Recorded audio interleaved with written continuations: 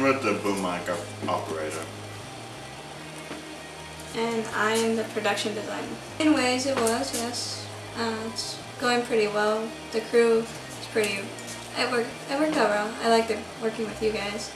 And that's about it.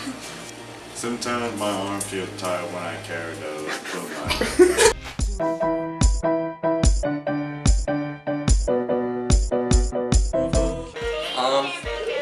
I was the DP of this film. Um, I filmed everything. Uh, I was the script supervisor. Well, um, uh, no, I enjoyed, um, everything, you know. It was,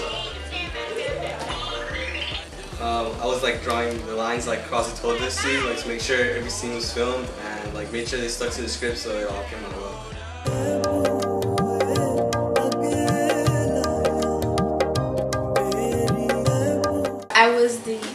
Director. Um, I was the assistant director. Um, yeah, I like I like the movie, and um, it had a lot of comedy to it. Like it was the whole film was like a comedy. I liked it. It was fun to work with um, everybody in the crew.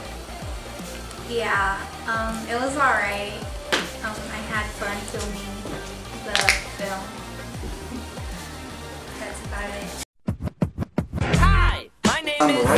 alright, just bring my money, alright? Uh, I was the gaffer, and I was I was helping Lewis with the boom pole. Is it? Yeah.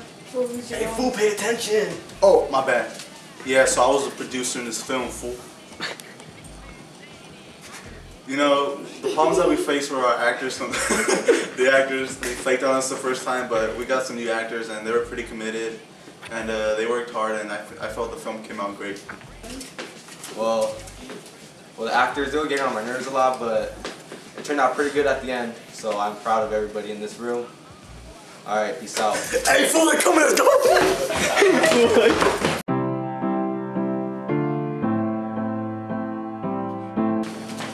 Hi, my name is Kiara Cohen, and I was the little sister in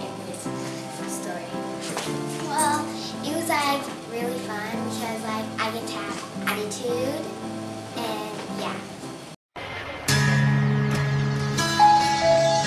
yeah. Um, Ryan Quinones. Uh, who did you play? I played Sean. How was playing Sean? It was very difficult. I had moments at times. It was good overall. Renzo, his brother. Who'd you play? brother. I played Eric. And how was playing Eric? Playing Eric was fun. I got to beat him up all the time. It was fun. All right. Alright. Renzosaurus Rex. Follow me on Instagram. Follow me on Twitter at 1K